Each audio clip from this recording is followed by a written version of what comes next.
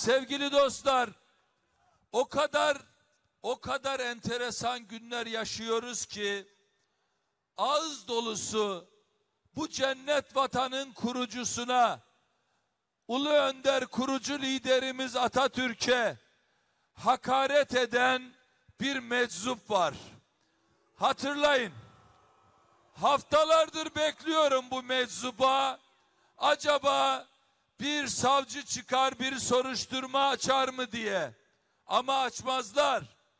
Bu iktidar o meczuplardan memnun. Hatta onları ödüllendiriyorlar. Geçen açıkladım. Şuraya not aldım söyleyeyim. Bakın dedim ki hala atamıza hakaret eden o meczubun oğlu milletvekiliniz. Yetmedi. Diğer oğlunu Kocaeli İşkur Müdürü yaptınız. Yetmedi. Damadını Sakarya Çevre İl Müdürü yaptınız. Yetmedi. Abisini de kayyum atadığınız bir şirketin başına getirdiniz. Bakın yetmedi. Abisinin damadı da eski milletvekili kendisi gibi.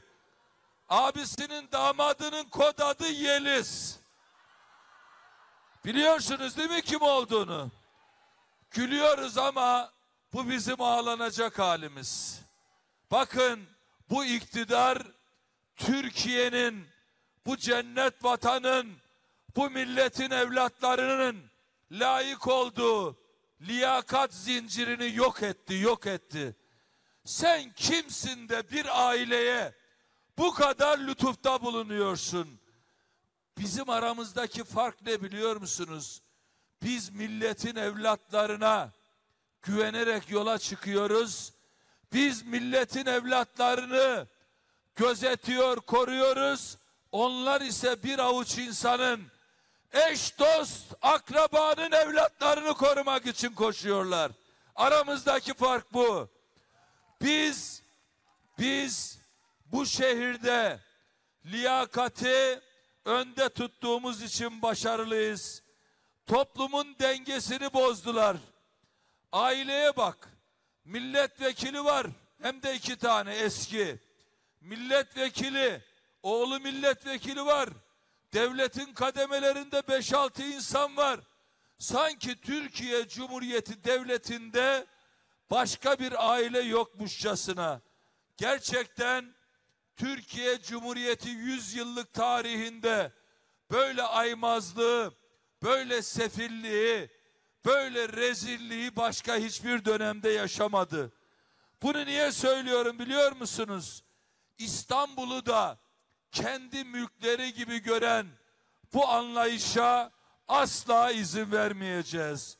Bakın bu anlayış öyle bir anlayış ki bu şehri bölmeye çalıştılar. Görüşe, inanca, siyasi tercihlerine göre. Ben de eski bir Kadıköylüyüm. Bu Kadıköy'ü 25 yıl nasıl görmezden geldiklerini ben iyi biliyorum. Siz de iyi biliyorsunuz. Şahitsiniz değil mi? Şahitsiniz değil mi? Bunlar bunlar bunlar mikrofonlara çıkıp tabii ki oy verenlere metro getireceğiz. Oy vermeyenlere niçin getireceğiz diyenlerdir. Biz ise bakın yarın Sancaktepe'de metro açılışı yapıyoruz. Sancaktepe'de metro açılışı yapıyoruz. Sancaktepe'de metro Çekmeköy'den Sancaktepe'ye oradan Sultanbeyli'ye. Yahu bir insanı oyundan siyasi tercihinden dolayı ayırt eden akla ne denir? Vallahi ben ona bir tek şey söylerim Ramazan ayında. Allah sizi ıslah etsin. Allah size akıl versin. Allah size bol akıl versin.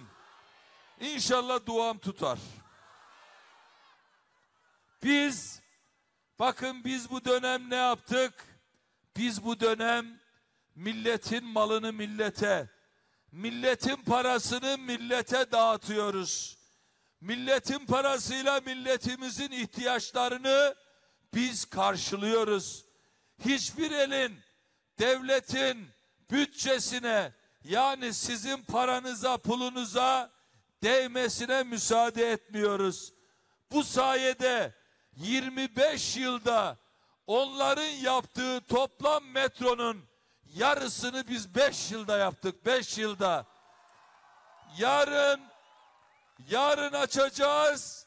Bir de 18 Mart Çanakkale Zaferi gününde hem atamızı anacağız hem de pazartesi de Ataköy 2 telli metrosunu açacağız. Toplam 65 kilometre metroyu bu kardeşiniz gurur duyduğu ekibiyle birlikte İstanbullu hemşerilerine sunmaktan büyük onur duyacak. Sadece bugün, sadece bugün hemen biliyorsunuz Altunizade'den indiğiniz zaman Uzunçayır'da biz bir kaos yaşarız. Oradaki kaosu sona erdirdik. Oradaki kaosu bu şehrin bütçesinden üç buçuk milyar lira ayırarak, aktararak, para harcayarak kavşağı bitirdik. İstediğiniz kolaylıkla hareme, istediğiniz kolaylıkla Bostancı tarafına Söğütlü Çeşme'den gidince biraz fazla mahalle ismi anlatıyorum ki arkadaşın kafası karışsın nereye anlatıyor diye. Oradan